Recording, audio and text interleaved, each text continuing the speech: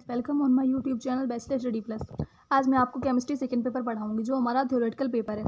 Chemistry में हमारे तीन पेपर है first paper second third paper जो फ़र्स्ट पेपर है और सेकंड पेपर है, वो हमारा थ्योरेटिकल पेपर है और जो थर्ड पेपर वो हमारा ऑप्शनल होगा, ठीक है?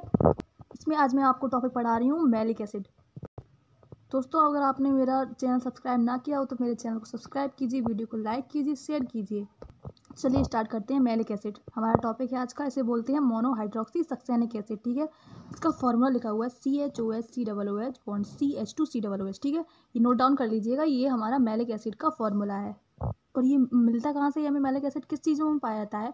और यह अम्ल बिना पके हुए, जो सेब होते हैं, बिना पके हुए सेब से प्राप्त किया जाता है तथा बिना पके हुए अंगूर, चेरी, अनेकों सरस जो फल होते हैं, रसदार उनसे पाया जाता है। क्या मैलिक एसिड हमारा ठीक है, इसकी बनाने की विधि। अगला टॉपिक है। इसकी बनाने की विधि, इसकी प्रयोगशाला विधि क्या है? देखिए, ब्रोमोसक्सैनिक अम्ल को आर्द्र silver hydroxide A G O H आर्द्र silver hydroxide A G O H के साथ गर्म करने पर हमारा मैलिक एसिड बनता है? ठीक है हमारी ये प्रयोगशाला विधि है, ब्रोमो सक्सैनिक एसिड देखिए यहाँ ब्रोमो, और यहाँ पर ये देखिए, इसे हम क्या बोलते हैं? मोनो हाइड्रोक्सी हाइड्रोक्सी मतलब सी एच से ओ एच जुड़ा है तो हमारा हाइड्रोक्सी, अब यहाँ पर हमारा सी एच से बी आर जुड़ा है तो हमारा ये ब्रोमो हो गया, ठीक है?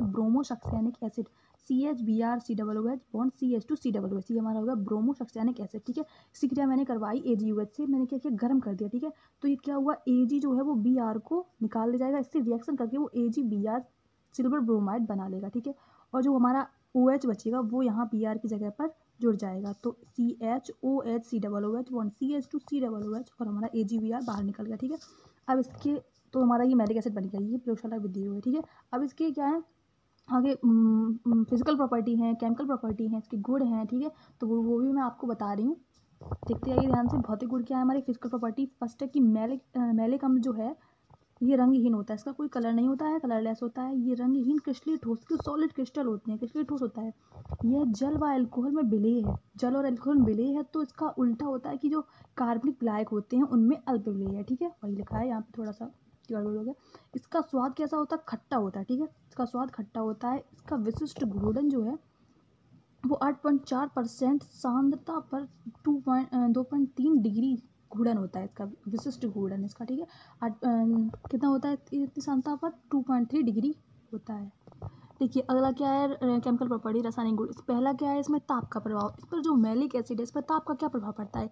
अगर हम गर्म कर दें इसे, ताप दे दें, गर्म कर दें, ताप देना मतलब गर्म करना, ठीक है? तो ये क्या बनता है? हमारा बीटा हाइड्रोक्सी अम्लों की भांति जल खो देता है। जल खोकर मैलेक मैलेक या फिर मैलेक को भी बोलते हैं फ्यूमेरिक फ्यूमेरिक या मैलेक अम्ल बनाता है। देखिए, ये हमारा मैलिक एसिड है। C H O H C double O H C H two C double O H गर्म कर दिया मैंने। यहाँ से ओ एच गया, यहाँ से एच गया। यहाँ से ओ एच हटा और यहाँ से एच तो हमारा मिलकर क्या बनाएगा? एच टू ओ हमारा जल निकाल देता है और जब इसका एक बॉन्ड खाली हुआ और एक इसका बॉन्ड खाली हुआ तो इन दोनों ने कार्बन ने क्या किया? बीच में डबल बॉन्ड लगा लिया। देखिए, ये लगा हुआ है। C H double bond C H यहाँ C double O H C double O H O H H क्या बनाया? एच टू ओ ये हमारा क्या बना? मैलिक एसिड इसी को हम बोलते हैं फ्यूमेरिक एसिड ठीक है? अगला है अपचयन। इसका अपचयन करा दिया गर्म सांद्र एच आई के साथ गर्म करने पर सक्सैनिक अम्ल बनता है, सांद्र एच आई सबसे हमने मैरिक एसिड लिया? C H O H C double O H bond C H two C double O H two H I के साथ मैंने गर्म कर दिया, सांद्र एच आई के साथ। तो हमारा क्या बना? यहाँ से हमारा ओ एच गया, यहाँ से एच गया तो हमारा एच टू ओ बन गया और आई टू आई है हमारे पास तो ये आई टू बन गए और एक जो, देखिए, एक एच ओ एच के साथ हमारा एच टू ओ बन गया और दो आई हैं तो हमारे आई टू बन गए और जो यहाँ से ओ एच जब हटेगा तो यहाँ की कार्बन का एक बॉन्ड खाली हो जाएगा तो जो ओ एच और एच हटके एच टू ओ बनाया और एक एच बचेगा तो वहाँ एच एच टू बन गया और हमारा आई टू बन गया और ओ एच खाली हुआ, वहाँ एच लग गया तो C H two C double O C H two C double O बन गया हमारा सक्सैनिक अम्ल ठीक है? नोट डाउन कर लीजिएगा, काफ़ी इंपॉर्टेंट है, उपयोग क्या है इसके? इसकी यूज़ क्या है? मैलिक एसिड की यूज़ क्या है? इसका प्रयोग हम औषधि के रूप में करते हैं गले के घाव के उपचार में।